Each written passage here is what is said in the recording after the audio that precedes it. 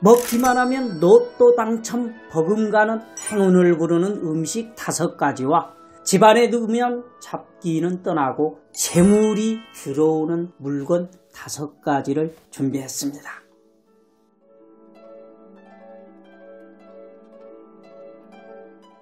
여러분들 안녕하세요. 경기도 성남 보은철학원장 역술가 보은입니다. 요즘 경제적으로 어렵다 보니 장사도 안 되고 돈줄이 막혀 죽을 만큼 힘들다고 하는 분들이 많은데요. 오늘은 이런 분들에게 로또 당첨 행운보다 더 좋은 방법을 알려드리도록 하겠습니다. 궁금하신 분들은 채널 고정해 주시고 끝까지 시청해 주시길 바랍니다.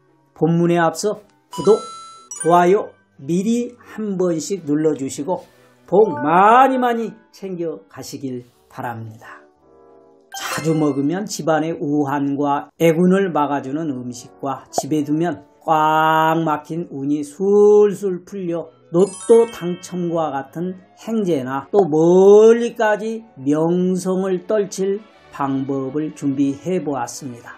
이는 옛 우리 선조들이 사용했던 손쉬운 방법이기도 해서 여러분들이 쉽게 따라서 할 수 있는데요. 먼저 먹으면 좋을 음식부터 알려드리겠습니다. 궁금하신 분들 집중해 주시기 바랍니다. 첫 번째 팥죽입니다. 팥의 붉은색이 나쁜 잡기를 물리치고 건강을 지키는 음식으로 옛날에는 장독, 헛간 등 집안 여러 곳에 두었는데요. 여러분들은 팥죽을 쑤어 주방이나 거실, 안방 등 집안의 어느 곳에 놓아두셨다가 식은 다음에 식구들이 모여서 나누어 드시면 됩니다. 한 달에 한 번씩 드시면 아주 좋습니다. 이 붉은색 팥은 귀신이 제일 싫어하는 것이에요. 집안이 시끌시끌하다 싶으면 한 달에 두 번을 드셔도 아주 좋습니다. 두 번째, 가래떡입니다. 예나 오늘이나 설날에는 떡국을 끓여 먹는데요. 가래떡이 길게 늘어나는 것처럼 가족들이 오래오래 살기를 기원하고 재산이 쭉쭉 늘어나기를 바라는 마음에서 먹었습니다. 또 가래떡을 썰어 엽전 모양으로 만들어 먹었는데 대물이 풍족하기를 바라는 마음을 담은 것입니다. 어찌나 돈 없이 힘들어 죽겠다고 하든지 가래떡을 제가 수시로 먹으라고 했더니 한 달에 몇 번을 끓여 먹었다고 그래요. 그런데 한 달 만에 수년간에 안 팔리던 땅이 아주 좋은 값에 팔렸다고 호들갑을 떨던 단골의 사례가 있습니다. 이분은 로또 당첨 못지않게 큰 거액을 손에 쥐었는데요. 얼마나 좋아요. 떡도 먹고 운도 먹고 이런 방법은 역술가 보은도사만이 공짜로 알려준다니까요. 아직도 구독 안 하신 분 계시죠? 빨리 구독하세요. 떡은 축하와 행운의 상징으로 여겨져 집안의 애군을 막기 위해 사용되었고 오늘날에도 고사를 지낼 때 시루떡을 사용하고 남은 떡은 이웃과 나누어 먹는 이유도 다 여기에 있었던 겁니다. 세 번째는 국수. 국수는 장수와 풍요를 상징하는 음식으로 생일이나 결혼식 등의 특별한 날에 먹었지요. 국수는 애군을 막아주고 국수의 면발이 길게 늘어나는 것처럼 가족들이 건강하고 재물운이 길게 이어진다고 해서 우리네 조상들도 많이 드셨던 음식입니다. 특히 홍기가 꽉 찼는데 결혼을 못한 자녀가 있으면 이 국수를 자주 삶아주어 보십시오. 아마도 머자나 행운을 몰고 오는 배우자를 데리고 올 것입니다. 네 번째, 비빔밥. 섣달 금음날 저녁에 남은 음식을 모두 넣어 비빔밥을 만들어 먹곤 했습니다. 이는 한 해 동안 먹은 음식을 처리하고 새해를 맞아 새로운 음식을 맞이한다는 의미가 있는데요. 한마디로 새로운 운은 새 부대에 담아라 이런 말이지요. 또 비빔밥은 가족들과 함께 모여 화합을 다지는데 아주 좋습니다. 부부간의 가정불화가 심하다. 또 자식과 며느리가 3일을 멀다 않고 자주 싸운다 싶으면 이 비빔밥을 자주 먹도록 해보십시오. 다섯 번째, 신주. 이 신죽은 재물과 안전을 기원하는데 사용되었습니다. 특히 갑진년에는 백색인 흰색 죽이 금오행으로 큰 관운을 불러줍니다. 취직이나 선거는 물론 기획, 공연 등으로 크게 명성을 얻게 되며 특히 취직하고자 하는 분이라면 흰죽을 자주 드시는 것도 도움이 되겠습니다.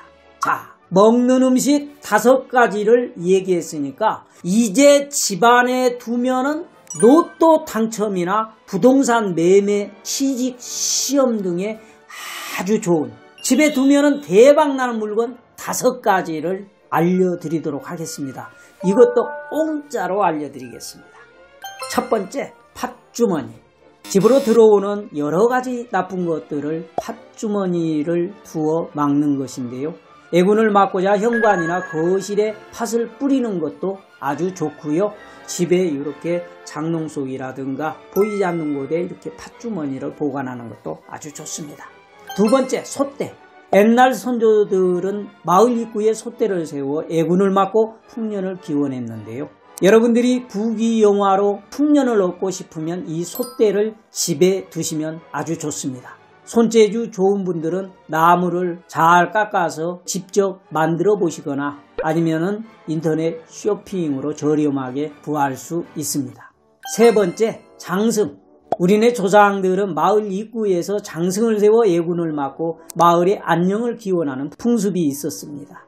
이 미니 장승을 집안에 두면 애군을 맡고 집안이 편안하고 일이 술술 잘 풀리게 됩니다. 이 장승을 통해 운을 부르는 영상은 제가 예전에 이미 보여드렸기 때문에 아래의 공지창에 댓글로 남겨드리도록 하겠습니다. 링크하셔서 한번 보시고요. 네 번째, 향나무 가지. 집의 출입구나 주변에 향나무 가지나 솔가지를 꽂아 놓으면 애군을 차단하고 재물운을 상승시키는 금줄 역할을 하게 됩니다. 나쁜 영혼이나 사악한 기운이 들어오지 못하도록 막는 역할은 향나무만한 것이 없습니다. 집에 잡기가 들락거리거나 탁기가 흘러서 걱정이신 분들은 향나무 가지와 이 애군하고 맞바꾸어 보시길 바랍니다. 다섯 번째, 복조리. 연초에 사서 집에 걸어두면 그 해의 행운을 가져다 주는 물건으로 딱 좋습니다. 한국의 옛 조상들의 전통 풍습에서는 집안의 평화와 행운을 유지하기 위해 다양한 전통 물건을 사용했습니다. 이 복조리는 복을 부르는 물건인데 이 복조리 영상도 지난 영상에서 제가 이미 보여드렸기 때문에 아래 공지창에 링크해 드리도록 하겠습니다. 오늘 영상은 여기까지입니다. 오늘 영상이 도움이 되셨을까요? 도움이 되신 분들은 좋아요 한번 눌러주시고요. 저는 더욱더 좋은 영상을 준비해서 다음 시간에 또 찾아뵙도록 하겠습니다. 여러분들 감사합니다.